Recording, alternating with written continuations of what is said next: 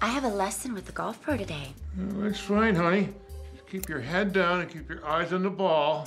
What do you think about what I'm wearing? Uh, yeah, it's perfect.